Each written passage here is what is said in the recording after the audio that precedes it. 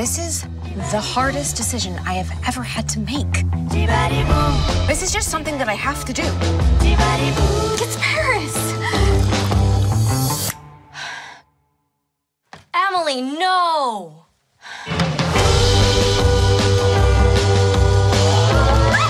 Are you okay, Emily?